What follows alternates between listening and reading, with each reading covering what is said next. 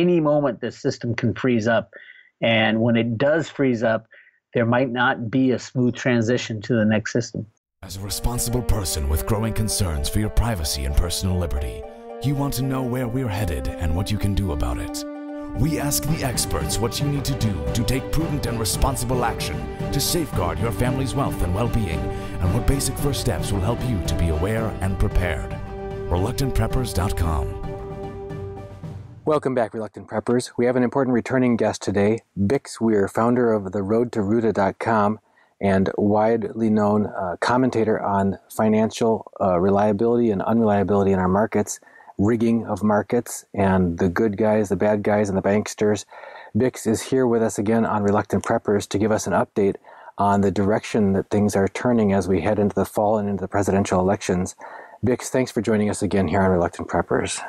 Hey, thank you, Don. Again, it's a very interesting time to be working in this business and keeping an eye on what's going on as everything seems to be going on right now. I, I, have a son who, for for whom this will be his first presidential election, and that he's able to vote. He's also a uh, journalist and studying that in school, and has been able to participate in actually seeing some of the presidential candidates in person.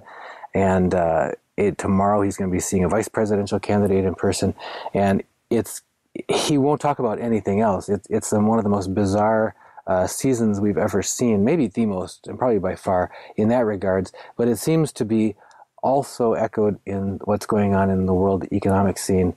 Is just uh, over and over we talk to different experts on here saying this is what is happening here, the scale of it, the the uh, the scope of it, the lawlessness of it, etc., is just unprecedented in uh, in recorded history. You uh, recently published, in fact, just end of last week, published a um, uh, podcast by uh, Sean Turnbull from the SGT report interviewing Bill Holter and Jim Sinclair, and the title of that was "The period that we're living in is the most uh, the most dangerous period in history is today." And in that, they addressed several topics, uh, including uh, sort of the the meltdown of, of the Deutsche Bank and accumulation of gold by other central banks and political unrest in the Middle East but before we get into that and some of those other topics, uh, as well as the other podcast you published by uh, our, uh, Mr. Armstrong talking about the most likely meltdown is going to come from the bond markets. But first, if we could gently give you a hard time and ask you, um, since when we had you back here, I believe it was in August, you were talking about that by this time of year you expected to see some uh, major upset, and goodness knows there's been a lot of major things going on. But the dollar is still standing at the moment, and the international banking system seems to be wobbly but standing. So, can you give us an understanding of what has what has failed and what looks like it's closer to failure than the last time we had you on? Well, sure. You know, I'd always for the last year or so said the good guys want to start crashing the system in September, and the bad guys want it in October. Um, we're right in the heart of that, and and it was clear if you watch the markets and you're you're in tune with what's going on. It's clear that the the takedown of Deutsche Bank is is a big deal. I mean, they are known as the largest systemic bank as far as uh, the derivative situation over there. With I think it's nobody really knows anymore. It used to be 75 trillion uh, dollars, and now it's 42, 43 trillion euros. Um, anything with a T on the end of it is is systemically risky. Um, but it was clear that the uh, United States people within the United States are out to take down Deutsche Bank. They they levied a 14 billion dollar fine on them when their market cap was you know, 16 billion at the time. Um, that is it. It is a clear shot to the heart of Deutsche Bank. Now, whether or not it is intended to be the thing that kills the Deutsche Bank, which if, if Deutsche Bank goes down, there is no recovery from that. They're one of those too big to fail banks. And nobody really talks about a too big to fail bank because the consequences of a too big to fail bank actually failing is the destruction of the unbacked fiat monetary system because all these banks are interconnected. And we almost had it back in 2008 when the uh, AIG crashed and all the banks started to crash. Um, and Lehman Brothers went down and Bear Stearns went down. This is this is bigger than that. Back then, it took $700 billion in the U.S. Congress to give to the banksters um, so they could leverage it up to 20 or 30, uh, 20 or 30 billion, which or trillion, which is what they really needed. Uh, and banks can do that with fractional reserve lending. So, yeah, I mean, I, I would say the good guys did do two things basically at the end of September. One was begin the takedown of Deutsche Bank, and number two was to pass the JASTA bill, the Justice Against Terrorists bill, that gave uh, people the right to sue Saudi Arabia for 9 11. Gigantic, gigantic deal. Um, the reason they weren't allowed to do that up to now was because of the U.S. involvement in in 9 11 as well. Um, and if you're talking about specific people within the Saudi government, um, Prince Bandar, the, the U.S. Uh, ambassador, was best friends with George Bush Jr. and they Prince Bandar's wife funded directly the, the Saudi terrorists. I mean that that's a huge deal. And now with the JASTA bill out there, they can you know uncover all these rocks that weren't allowed to be uncovered. And uh, it what it also does is reverses. Saudi Arabia has already said they would start selling U.S. assets, so reverse the petrodollar scam that was set up in the 1970s with the Kissinger where the U.S. demanded that the Saudis made a deal with the Saudis that they would only sell their their oil in U.S. dollars, and then with those dollars they would reinvest them into the U.S. system, buying U.S. bonds and buying U.S. stocks. This is going to be the reversal of that. Um, so yeah, I think at the end of September, the, the good guys fired two lethal shots to the bad guys. Um, it hasn't collapsed the system yet, but it's only a matter of time, I believe. Everybody's talking about Deutsche Bank getting a bailout from the government, although their government, the German government, has already told other countries that they can't get a bailout, such as Greece is a great example. So the German and the German government doesn't want to bail out Deutsche Bank either, and they they made that very clear because they're ready to destroy the system as well. So I, I think that the system is in the process of being destroyed right now. Um, I think another key date is uh, October 28th, which is, I, I, think it was the bad guys date I've gotten from a couple people, but October 27th is when Deutsche Bank releases their third quarter earnings. So the next day would make sense that they crash the system, as in the system stops on the 28th. Now, until recently, uh, we we had several analysts that were predicting a major upset with the September 30th addition of the Chinese yuan to the SDR basket of currencies. And we've had uh, two speakers on our uh, show talking about the dynamics and the risks that preceded that. Uh, in the in the wake of that, uh, we didn't see you know as as dramatic or as immediate a result as people had some people had predicted. And some of the people writing comments on our channel have scoffed and said, "Ah, see, it's just the sky is falling all over again." What was your view of the the real risk of the yuan being added to the SDR? And do you think we that that story has played out yet?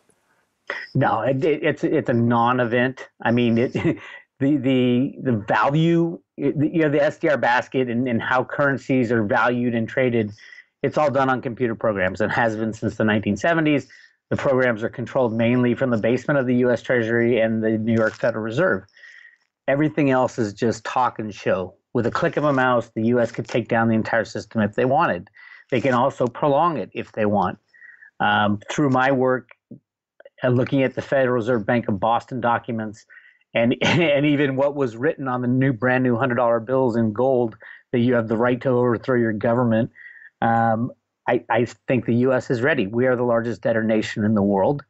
We would benefit the most if we destroyed the monetary system because all debt goes away.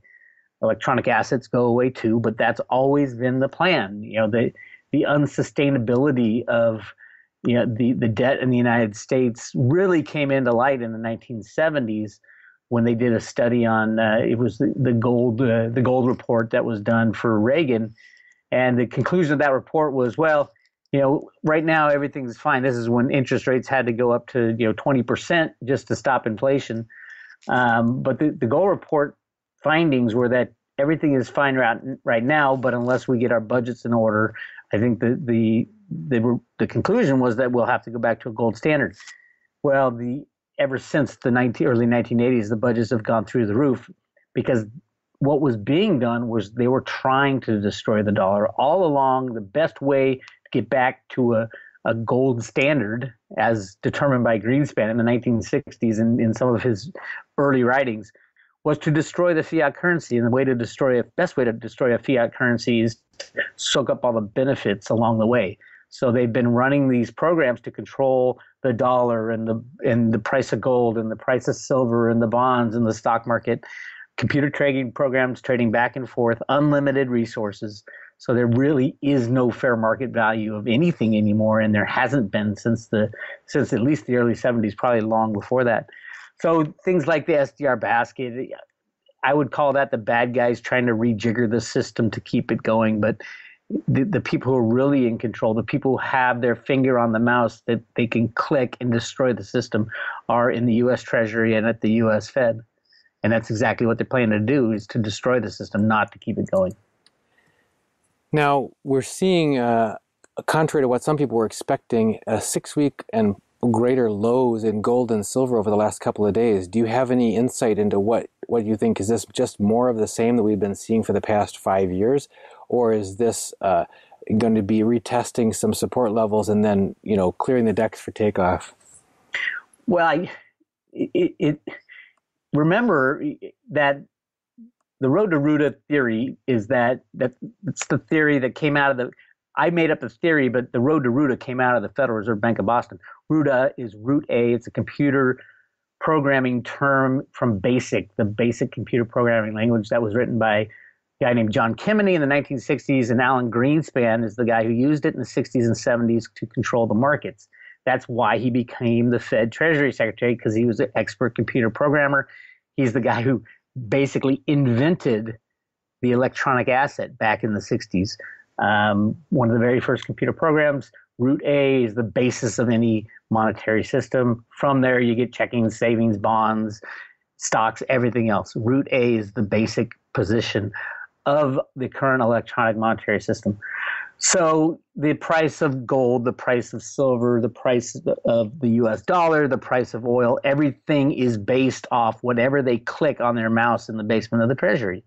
And that's that's a fact you know, you can you can say, oh, they're pushing it down to for, you know to clear the decks for the next move up, but they're pushing it down from what? They still control the system. They can push the price of gold and silver to zero with the click of a mouse. It is very easy to do. All you do is send an unlimited sell uh, order into the COMEX, and the price is at zero, and then you basically shut down the market, and you win. So there, the the problem that everybody who's trying to analyze these markets or, or and giving reasons why things go up and down is that they don't ex- understand the full extent of the manipulation. The manipulation is total and complete, and all it takes is a click of a mouse. If they sell in the last four days on the COMEX, the uh, the silver that's been sold on the electronic exchange is 1.6 billion ounces of electronic silver in the last four days. Does it really matter if it was 1.6 billion or 1.6 trillion ounces sold on the COMEX? No, it doesn't matter because these are all electronic signals sent by a computer controlled by people who control the monetary system. It, and that monetary system has unlimited funds. And they, they're not going to tell you that they created another trillion dollars in electronic blips to control the market because it's all done behind the scenes and it is all authorized by the, the Gold Reserve Act of 1934 that authorized the Exchange Stabilization Fund to dabble in the markets and control prices and control everything we see. And then when computers came in to play in the 1960s, that was pretty much game over for our free markets. Free markets have not been around since then. Um, but I do think they will return at some point when when the final collapse happens and will it be gold going and silver going to a million dollars an ounce or zero dollars an ounce? It all depends on what they click with that mouse. So, one of the points you're making there is that there's an intrinsic uh, link between the unlimited fiat money supply that is infinitely elastic and, and has no physical bounds, and the ability to uh, have complete and total manipulation of the, the current price of, of precious metals. Of the uh, price, correct. Yeah. Because it trades at well over 100 to 1. I've done the numbers. It's more like 350 to 1 to on silver, the amount of electronic trades that go on on the COMEX and the LBMA compared to the physical metal. So yes, any anything related to silver price is controlled on the COMEX and the LBMA. Before we stop, uh, move on to the next topic. I still, while we're still on silver and gold, talking about the physical market though, and possession and holdings of physical gold. There's been a very uh, strange and hard to understand from a traditional common sense point of view. Uh, transfer of physical metals uh, from all we're able to hear out of the Western countries and into the East, both uh, China and India, uh, Russia, uh, central banks accumulating massive amounts of gold.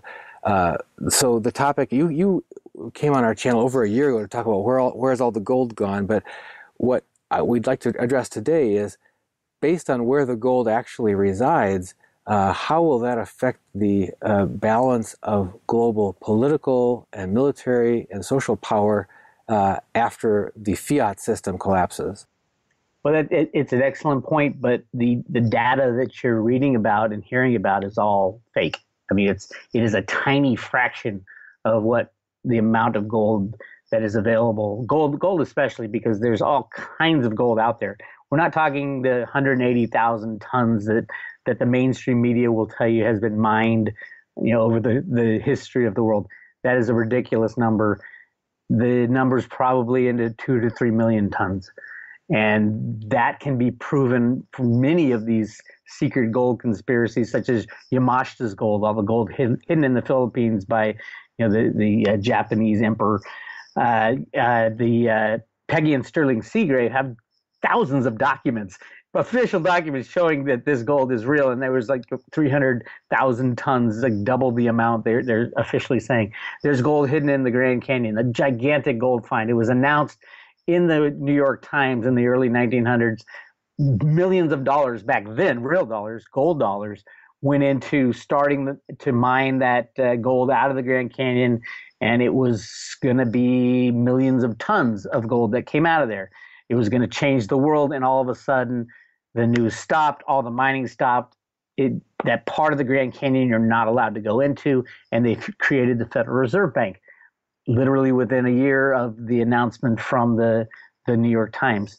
Uh, a lot of my work has gone into discovering, well, the Federal Reserve Bank, you know, G. Edward Griffith's book on, you know, Creature from Jekyll Island might have been correct in one instance, but it might have been missing the the reality that they had found probably a hundred times the amount of gold than that was in circulation as money. That is a gigantic problem for society because back in the early 1900s, gold was money. It would have devalued and destabilized the entire world if you are all of a sudden introducing that kind of of gold into the system. And gold was money, so you're basically you're changing the balance of power massively. Um, and then there have been many other huge gold finds, at least in the United States, in uh, Chocolate Mountain in in Southern California. Uh, that was in the 1990s. Dianne Feinstein was in charge of putting it into a, a, a, desert wildlife preserve to save it for the time when we move on to a, a, gold standard and off the fiat money standard. That's basically been the, the U.S.'s policy since the since the probably since the invention of the Federal Reserve Bank is to use everybody else's assets first while they're while they're taking these unbacked fiat currency fiat dollars that we have now it's electronic dollars eh, when the world takes those and, and we buy their their real assets, their in-ground natural reserves, that's that's a great thing for the United States. And when this system falls apart and people stop selling us oil and, and gold and silver and copper and their goods they manufacture in exchange for these electronic blips, then we'll have all this all these resources in the ground that we can use as money. So yeah, and, and there is some in the conspiracy world uh, who are connected who has said that there is a plan to go about and value the actual natural resources in the ground of every country and and the the USGS uh, the uh, U.S. Geological Society apparently has been going from state to state trying to document all this stuff, um, and other countries are doing the same in expectation that we will be transferring or transitioning out of the unbacked fiat system to something new, some kind of backing with a new currency.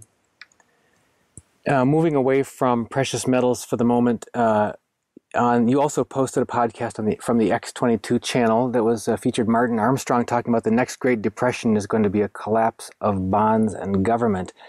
In that, he talked about how the scope and scale of the bond market dwarfs the stock market and equities market that most people think of when they think of what's a good indicator of, of wealth in the economy. Can you describe uh, what your view is of the importance of the, the debt market, the bond market, as opposed to the stock market? Well, it, it's very similar to to all the electronic assets. You know, the, even the bonds the bonds are traded just like stocks are traded in, in the fractional reserve system. So for every share of stock or every bond that's out there, 50 to 100 times that amount trades every day on the exchanges.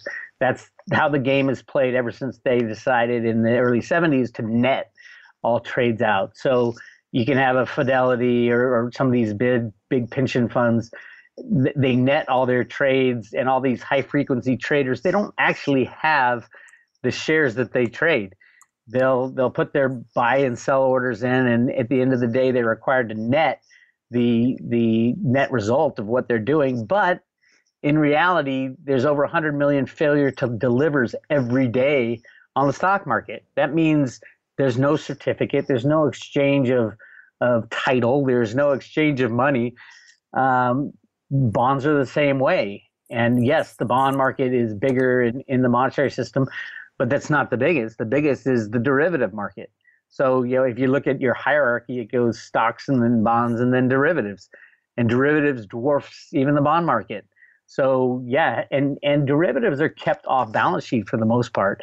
So that's how someone like Deutsche Bank, who owns stocks and who owns bonds and and owns a massive amount of derivatives. Their derivatives are over 40 trillion euro. You know, U.S. dollars probably around 50 trillion, but you know, they're they're crying because they got levied a, a fine of 14 billion, and and that will wipe them out. Well, what in the world are they doing with 50 trillion in in derivatives? Um, so yeah, a, a bond crisis I think it will all go together, though. It's it's one of those things. If if you take down Deutsche Bank, you take down all the counterparties of the derivative bets that they have, because every derivative bet they have is with another counterparty. And so you'll see all the other big derivative players like J.P. Morgan, Citibank, Wells Fargo, Bank of America, Goldman Sachs. As they go down, they take down the entire system. And that was one of the uh, one of the quotes that really stuck with me from those two podcasts that you shared was the statement that in a big enough uh, collapse, even the winners are losers, because if there's a derivative that's basically a bet by one party that's held by another counterparty, if the losses are great enough uh, on the part of the, the person who's the loser, um, the winner has nobody to pay them back. I mean, you're basically you basically won an empty empty victory because the whole system has gone down and there's nobody with enough strength to pay you back anymore. That's that's exactly it, and that's what happened. In, that's what was happening in 2008 and and the way derivatives, the way they say they hedge their bets is, you know, they'll write a derivative for one thing and then write a, an exact opposite derivative somewhere else with a different credit. But each little bit, each each credit in, increases the risk because you've got 50 different credits that are hedging each other with each other and all it takes is one of the big ones to go down that it starts the cascade it will take down when you know when JP Morgan goes down, there goes all these other other derivative situations. There goes all JP Morgan's customers who have bank accounts in other places too. So it really is. It's a it's a big intertwined octopus that cannot be. You can't surgically take out Deutsche Bank and have the system continue to function.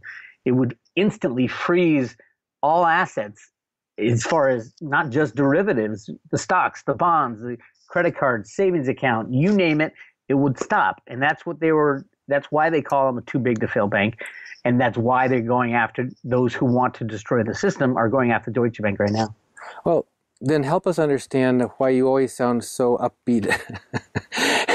and, uh, and, and uh, when you describe this and you talk about the good guys wanting to wanting to crash the system so that we can get back to an honest system or something, because a lot of the people that we talk to, uh, they describe the plight of the uh, house of cards that this whole derivatives and debt and everything, and they say when it comes tumbling down, it will be the collapse of an empire, and it'll be global because all the all the countries for the first time in history are all on this fiat system, and they're all going to collapse, and then we'll all just be living in the dark ages. But how can you you come you seem to take a very different tack at that as far as saying no that's collapsing the false fiat system and now you can re- reveal that you've actually got this uh, what this cache of um, of undisclosed uh, precious metals that we really have that that uh, United States isn't as broke as we seem to think we are or like people are coming to suspect we are. I mean what's how does this come out to be a, happy ending in, in your in your scenario? Well the the problem let's get to the, the real problem with the unbacked fiat monetary system. The problem is the amount of debt out there, and and everybody is swimming in debt. You buy a house, you're swimming in debt. You you use a credit card, you're swimming in debt. Everybody is swimming in debt, and that is the problem. Every country in the world is massively in debt. Every state, local, city government massively in debt. Some of that debt is very manageable. I mean, the U.S. manages its debt because they can print money uh, states can't print money. So you've got states like you know Illinois going down. So yeah, the the problem, and I, I never say that that uh, it's going to be easy to get to a better place. It's not. Uh, the crashing of the monetary system is going to be painful. There is no doubt about it. But the more pain is what we're living through now. The the debt and destruction that is happening if you crash the system, you're getting rid of all that debt. All the electronic debt will be gone in an instant. Yes, the electronic assets will be gone too. And, and moving forward, there'll be a lot of decisions to be made. And the big problem will be agreeing on something. That's going to be the big problem. And even the Fed talks about that in their documentation. They're like, you know, how are we going to get everybody to agree on what to use next as money and how to allocate that money to the people? Alan Greenspan had a great idea back in the, the 70s, and that was to reallocate money to the citizens of the United States through their Social Security balances. And it's really interesting when you think about it because it would reward the give the most money to those who have paid into the system the most. But pretty much everybody will get something and and uh, the Social Security balances are capped out at I think it's 100, 110, 120,000. You stop paying into Social Security every year. That means the ultra rich won't be ultra rich anymore, and the ultra poor won't be ultra poor anymore because all their debt would be gone. So it, and every every state, city, and local government would be funded with the new money coming out of whatever we decide to use as money. I think it will be gold and silver, clearly the new hundred dollar bill shows gold all over it, and the, the Fed uh, pamphlets and documents that I've analyzed shows people going into banks with gold coins and dollars and cashing them in. Do I think that's the future? I think that's part of the plan for the future because there have been plans to destroy the system since the 1960s um, if not even before that. I, I, think even the advent of the Federal Reserve Bank had to do with that gold that was hidden in the Grand Canyon, and there's a lot of uh, gold certificates that were issued in the in the 1920s and 30s that everybody's kind of scratching their head, saying, you know, where did these billion dollar certificates come from that say the U.S. you know is it, they're they're gold backed and the U.S. will will fill them with gold and I, you know, I think it's all connected to these huge gold mines that were found in the United States. In the uh, articles that you posted, they also talked about a mysterious um, or inexplicable uh, lack of congruity between the actions of the federal government of the United States, uh, specifically our foreign policy, such as picking a war with Putin over in Syria, versus what would actually be good for and in the interest of the American people. And there was suggestion and we've had Rob Kirby on the channel. He was weighing in as far as the interest of globalism uh, being served rather than the national interest of the United States. What's your view, especially as we head into this election, election season, about the choices that lay before people in terms of what is actually going to be in their interest and in the interest of the nation? our sovereign state of the United States versus uh, not in, in, in, that interest, and, and what choices do people have? Well, there, there's no doubt there's been a, a struggle for power within the United States between what I call the good guys and the bad guys.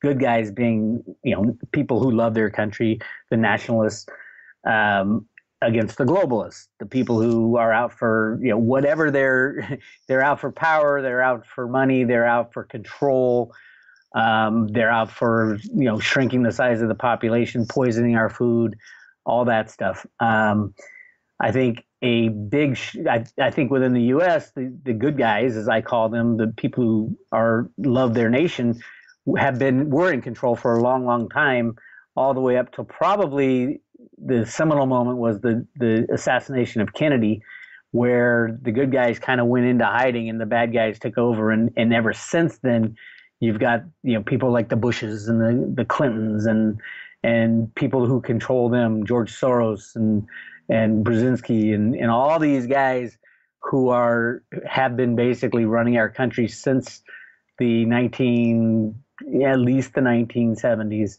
um, and that's if you read john perkins's book confessions of an economic hitman it gives a great a summary of what the bad guys do how they do it going into every country uh, exploiting them for their resources getting them into debt using debt as a weapon um, I, I do think they're getting kicked out. I think these bad guys have lost control of the U.S. military. So even if Obama and Clinton and you know John Kerry want to go to war with Russia, I think the, the good guys are in charge of the U.S.'s um, military now once again, which is great news. So all the talk about a nuclear war with Russia that that Clinton and her friends want to foster I don't think it'll happen. And, and a good sign that that's not going to happen is when uh, Obama wanted to bomb Syria, uh, and the Congress said, no, no, no, no, we're not going to let you do that. You know, after they Assad crossed his Obama's line in the sand, and and Obama was basically told by the military that no, we're not going to accept an order to to do this anymore. We've been led around by the globalists and the people who control you for long enough great sign there. And I think that's still true today that the military, the U.S. has control of their military once again, and and they're not going to allow um, people like Clinton and Obama and the people who tell them what to do. They're not going to allow them to to start World War Three. Um, so yeah, I, I, I think it's a good sign and you know the whole election thing I, I think the good guys have all the dirt on clinton they need to destroy her uh, with a couple of these emails. You know, they they've decided to to kind of leak them out week by week over the next few weeks, but I think it'll be enough to take her down. Um, and and if you think about it, you you want to take Clinton down closer to the election time so the bad guys don't have time enough to put somebody else um, in her place to do her bidding. So I think that's all happening and, and going forward. And you know, I don't know about the Trump wild card. I know a faction of the good guys want Trump in, but there's another faction of the good guys who say, no, we're going to crash the system and, and go without a government for a while. Um, and I, I, am kind of leaning on that side, but if I had my, my choice between Trump and Clinton, I'd take Trump. But I would truly, I would rather have a an election after the crash, after they take these bad guys out and, and the the crimes of the the Clintons and the Bushes and the Obamas and and the George Soroses of the world all get exposed, and then we can have a true election, a real election with real candidates and real people who who have the best interests of of the nation in in mind. Um, that's that would be my pick, but um, there are there's a faction of good guys that want Trump to get in because they think he can uh, foment a kind of a smoother transition. I I'm not so sure about that. And in that sense, we've got these forces at play that just dwarf the ordinary person, and their ability to control or influence these these huge things is minimal.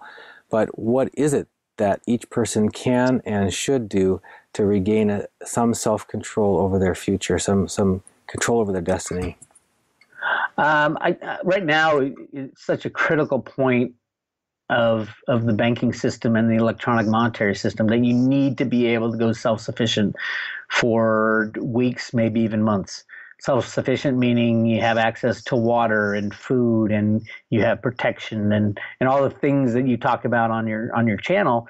Now more than ever is the time to to finish those preparations and have everything set and ready to go so that the moment that the your the ATM shut down and the credit cards don't work and you can't get gas or electricity, you are prepared at least to to ride out a, a, a small hiccup or a decent sized hiccup. I think in the long run, if it goes more than a few months, I think we're we're walking into a Mad Max type of world, or at least smaller communities getting together and and saying, oh well, since we're cut off from the rest of the world, we're going to have to take care of ourselves. So yeah, get get with your neighbors, get with your friends and family, have a plan, um, then have you know rations and and just think of a way. You know, do you have to plant a garden? Do you have to uh, have access to water? Do you have a water purified? Things that are basic for the necessity of, of life need to be within your reach now, not not next week, not the week after, because it literally any moment the system can freeze up, and when it does freeze up, there might not be a smooth transition to the next system. Well, good words for thinking and uh, action, uh, Bix. Before we let you go, do you have any any final thoughts for our audience? I, would say keep an eye on the, the big the big thing that you're going to be asked to do is it's not about the crashing of the system. The system's going to crash because the bad guys and the good guys want it to crash for their own purposes. The good guys want to crash to get the bad guys out. The bad guys want to crash to erase their bad deeds.